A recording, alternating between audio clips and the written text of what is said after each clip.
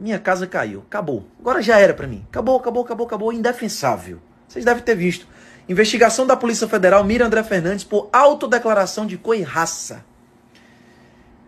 É isso. Ontem a Polícia Federal foi até o meu gabinete aqui em Fortaleza me intimar. Eu tomei conhecimento de um inquérito policial que tramita na Polícia Federal que investiga suposta inserção de dados falsos no sistema da Justiça Eleitoral por minha parte. Eu me assustei e eu fui checar do que se tratava. E acontece que em 2018 eu me autodeclarei pardo e em 2022 eu me autodeclarei branco. E esse é o meu crime. Talvez eu não estaria enfrentando esse problema se eu tivesse me autodeclarado mulher. Né? Mas me autodeclarei branco e é um crime terrível, é indefensável e.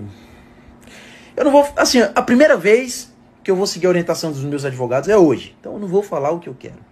Eu não vou falar o que eu quero falar, tá? Mas sigo tranquilo, eu sigo tranquilo de verdade e eu explico o motivo. Porque na pior das hipóteses, eu vou recorrer ao STF. E vou torcer para que esse processo e julgamento caia na mão do ilustríssimo ministro Flávio Dino, que em 2014, quando foi candidato no Maranhão, se autodeclarou branco. Em 2018, também candidato no Maranhão, se autodeclarou pardo. E em 2023 virou o quinto ministro negro na história do STF. Então, eu tô tranquilo. Mas tem